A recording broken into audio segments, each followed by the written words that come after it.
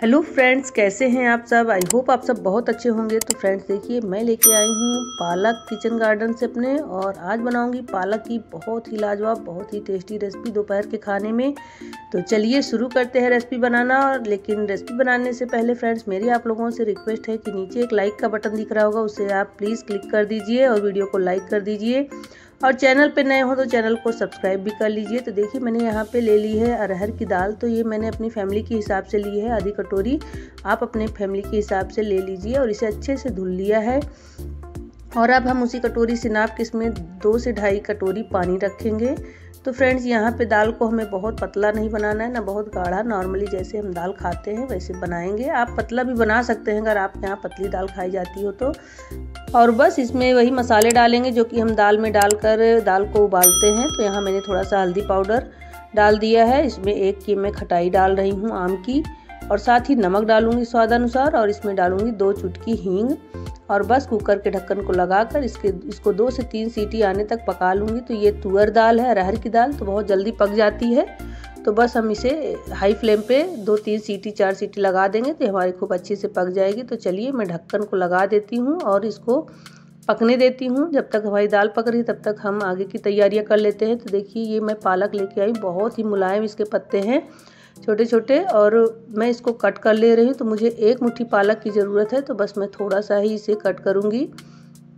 तो मैं इसमें से जो पत्ते मुझे अच्छे लग रहे हैं, ज़्यादा उसे निकाल लेती हूँ और इसे मैं कट करके अच्छे से धुल लूँगी। फ्रेंड्स, यहाँ पालक को हमें अच्छे से बारीक कट करना है बड़े बड़े पीसेस में नहीं कट करना है इसे हमें।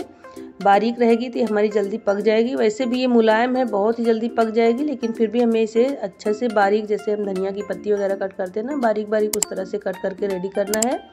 और देखिए, इसको मैंने अच्छे से कट कर लिया तो मैं इसे धुलूँगी। तो फ्रेंड्स, इसको मैंने अभी धुला नहीं था तो इसमें थोड़ा बहुत मिट्टी लगी है तो मैं इसे अच्छे से धुल लेती हूँ, तीन से चार पानी। और ये देखिए, मैंने इसे धुल लिया है और इसमें पानी डाल के मैं लेके आई हूँ। अब क्या करूँगी, ये छन्ना ले लूँगी और एक बर्तन में रखकर इस तरह से पालक को मैं इसमें रख दूँगी।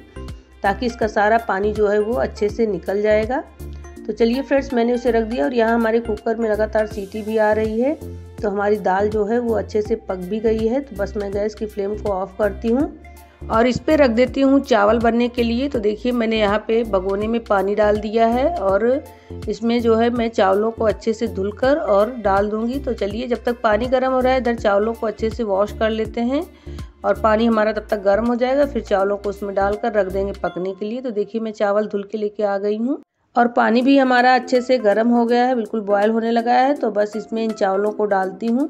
और इसको एक दो बार चला दूँगी और इसे पकने देती हूँ। ऐसे ही खुलने तो इसमें एक उबाल आ जाएगा। इसके बाद हम चावल हमारे लगभग पक जाएँगे तो इसका सारा पानी निकाल देंगे और हमारे बहुत ही खिले खिले चावल बनकर तैयार हो जाएँगे। तो चलिए, चावल जब तक हमारा उधर बन रहा है, तब तक इधर मैं लहसुन प्याज छील कर रेडी कर लेती हूँ। तो देखिए, मैं यहाँ पे चार से पाँच कलियाँ लहसुन की और एक मीडियम साइज़ का ये प्याज छील ले रही हूँ। और इसके बाद मैं इसे इस तरह से लंबाई में पतला पतला कट करूँगी लहसुन को भी। तो यहाँ आप लहसुन को कूट के भी ले सकते हैं, लहसुन, अदरक का पेस्ट भी डाल सकते हैं। लेकिन मैं इसको ना इस तरह से पतले पतले पीसेस में लंबाई में कट कर रही हूँ और ये देखिए प्याज को भी मैं इसी तरह से पतले पतले पीसेस में कट कर ले रही हूँ। और इसके बाद मैंने एक मीडियम साइज़ का टमाटर ले लिया है और इसे भी मैं इस तरह से लंबाई में ही कट करके रेडी कर लूँगी। तो देखिए फ्रेंड्स मैं यहाँ पे इसे भी लंबाई में कट कर रही हूँ। आप जैसे कट करना चाहते हैं कट कर लीजिए। और आप पीस के लेना चाहते हैं तो पीस भी सकते हैं। अदरक और लहसुन और प्याज को, टमाटर को ऐसे ही बारीक बारीक कट कर लीजिए। तो देखिए, हमारे टमाटर प्याज सब कट हो गए अच्छे से और इधर चलिए दाल को चेक करते हैं। तो देखिए, ये हमारी दाल बहुत ही अच्छे से पक गई है। तीन से चार सीटी में ये अच्छे से पक जाती है। तो बस अब हम क्या करेंगे कि कढ़ाई रखेंगे गैस पे गर्म होने के लिए और दाल को करेंगे फ्राई। तो गैस ऑन करके मैं इस पर रख देती हूँ कढ़ाई गर्म होने के लिए और इसमें डालूँगी सरसों का तेल। और तेल जब हमारा अच्छे से गर्म हो जाएगा तो मैं इसमें डालूँगी दो लौंग और इसके बाद इसमें एक छोटी सी हरी मिर्च को मैं इस तरह से लंबाई में कट करके डाल देती हूँ। और जो हमने लहसुन को बारीक बारीक कट करके रखा है ना, उसे भी डाल दूँगी इसमें। लहसुन को हमें गोल्डन ब्राउन होने तक अच्छे से इसमें भून लेना है। तेल में फ्राई कर लेना है उसे। इसमें अच्छा सा गोल्डन ब्राउन कलर आ जाएगा, तभी इसका फ्लेवर इसमें आएगा। और इसके बाद जो हमने प्याज कर, कट करके रखी है लंबी स्लाइसेस में, उसे भी इसमें डाल देंगे और उसे भी अच्छे से इसमें तेल में थोड़ी देर के लिए भूनेंगे। तो देखिए हमारा लहसुन जो है वो अच्छे से हो गया है गोल्डन ब्राउन कलर का तो बस मैंने इसमें ये प्याज डाल दी है। और इसे मैं इस तरह से कलछी से हल्का सा दबा दूँगी ना तो इसके सारे लच्छे अलग अलग हो जाएँगे और बस इसे हम अच्छे से तेल में फ्राई कर लेंगे। और जब ये सारी चीज़ें अच्छे से भून जाएँगी, इसमें एक अच्छा सा कलर आ जाएगा तो बस हम क्या करेंगे कि जो हमने पालक कट करके रखी है ना, इसको इसमें डाल देंगे। और इसके बाद इसे हम अच्छे से भूनेंगे तो फ्रेंड्स ये बहुत ही सॉफ्ट पालक है, बहुत ही जल्दी गल जाएगी तो मैं इसे एक दो बार इस तरह से चलाकर और इसमें नमक डाल देती हूँ, ताकि ये अच्छे से जल्दी से सॉफ्ट हो जाए। तो फ्रेंड्स यहाँ ना नमक हमें बहुत ही सावधानी से डालना है। बिल्कुल थोड़ा सा जितनी हमारी पालक है, क्योंकि पालक जो है वो देखने में ज़्यादा लगती है, लेकिन जब ये गल जाती है ना तो ये और भी कम हो जाती है। तो नमक यहाँ ज़्यादा बिल्कुल भी मत डालें और थोड़ी देर इसे ढक देंगे।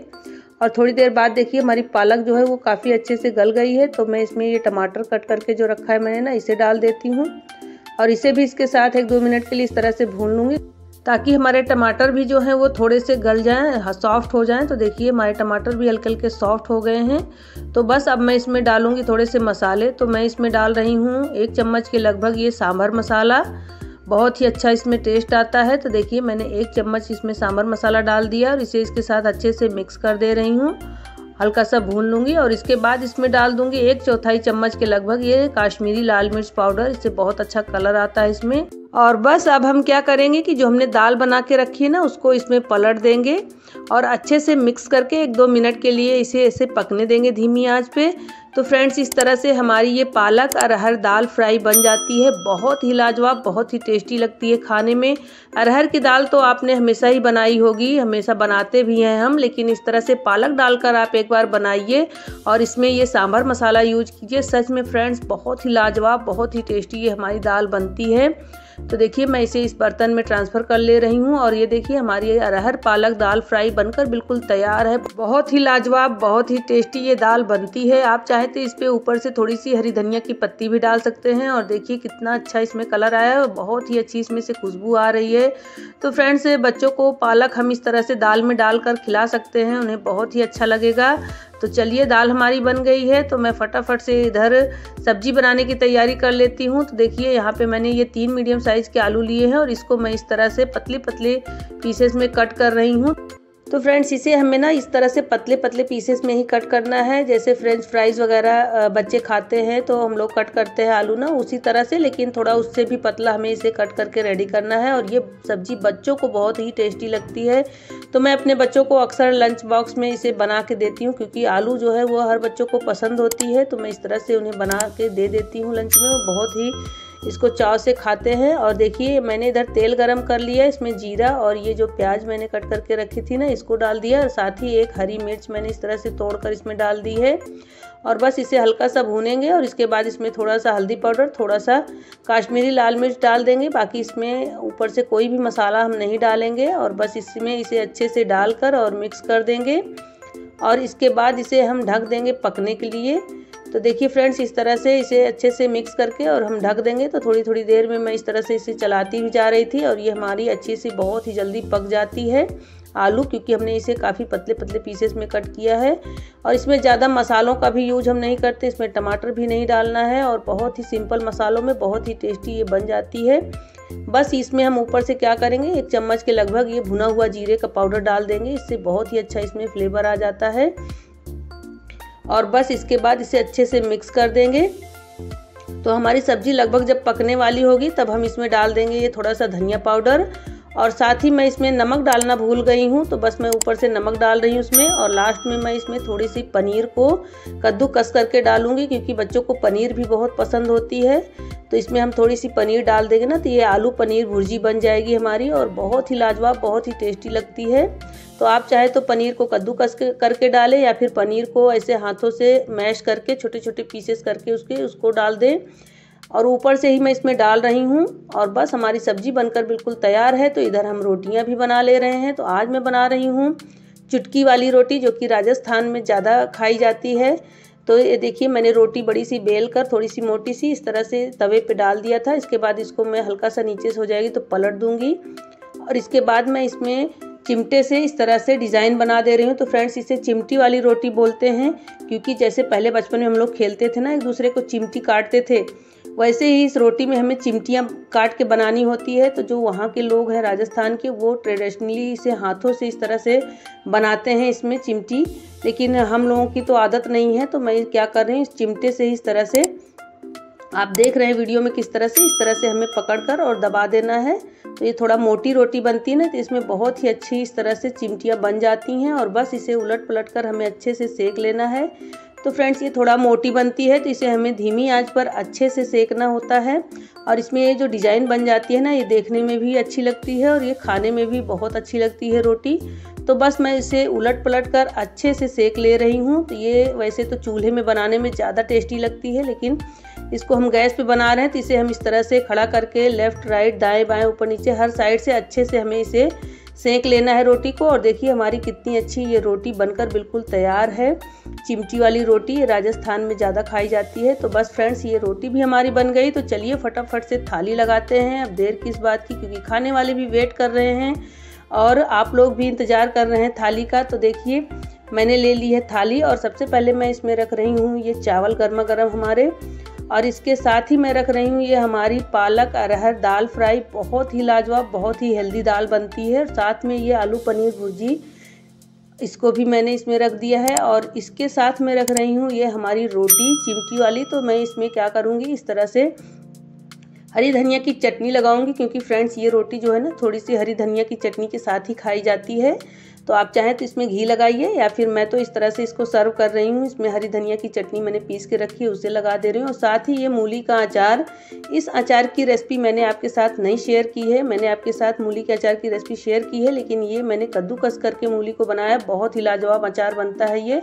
झटपट बनाकर खाने वाला है। तो लीजिए फ्रेंड्स, हमारी ये दोपहर की थाली बनकर बिल्कुल रेडी है। बहुत ही लाजवाब, बहुत ही टेस्टी और बहुत ही हेल्दी ये हमारा भोजन बना हुआ है। तो फ्रेंड्स आज का ये हमारा रेसिपी वीडियो आपको कैसा लगा?